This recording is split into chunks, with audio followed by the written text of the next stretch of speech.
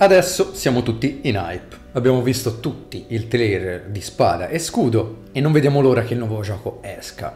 Ma a questo punto dell'anno, secondo me, c'è una domanda importantissima da porsi. Pokémon sta morendo?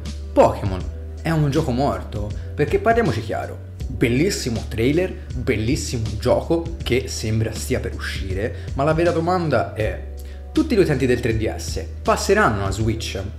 Tutti gli utenti di questi anni saranno contenti di questo gioco. Abbiamo visto sì le grafiche aumentate, abbiamo visto dei nuovi Pokémon che però purtroppo sembrano disegnati in maniera molto simile, la loro testa ha le stesse dimensioni, la stessa forma e sembra cambiare semplicemente qualche dettaglio tra i Pokémon starter iniziali. Persino i top player stanno valutando se partecipare o no a determinati tornei perché a quanto pare in questo punto della stagione per come è stata gestita, per come è stata impostata o sei in corsa o non sei più in corsa e questo fa calare molto le iscrizioni ai tornei. E se il prossimo gioco dovesse puntare proprio sul sistema competitivo proprio come ci fanno capire con l'ingresso in quello stadio bellissimo di calcio insomma un target per i più grandi è quello che ci avevano promesso, no?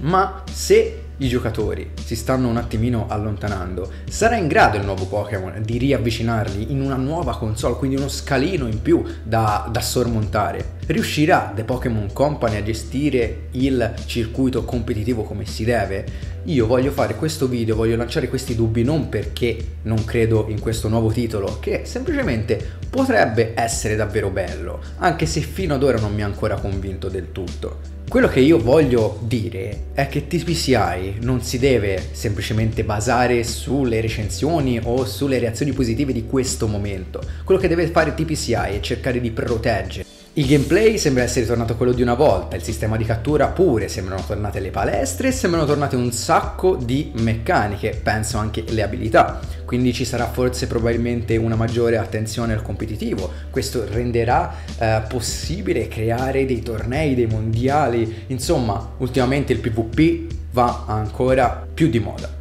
Lo, lo abbiamo visto con Fortnite, lo abbiamo visto con Apex, domani esce un video a riguardo, ma ecco, la vera formula per il successo per Pokémon è il competitivo.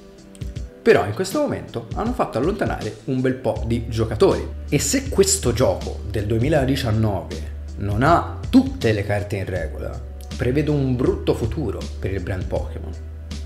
Prevedo un brutto futuro se DPCI continua con la gestione pessima che ha attuato fino ad oggi. Persino per Bolzano, il prossimo torneo, lo special event italiano, siamo stati costretti ad averlo in un luogo così difficile da raggiungere come Bolzano e tantissimi top player stanno rinunciando ad andarci perché ormai Pokémon è un gioco morto. Quindi eh, bisogna sì festeggiare, bisogna essere contenti per il nuovo titolo, bisogna essere carichi a pallettoni per il nuovo titolo, però non ci scordiamo che dall'altra parte c'è anche un circuito che va gestito.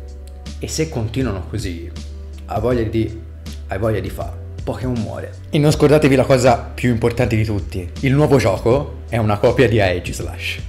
Una spada e un cazzo di scudo. Yeah.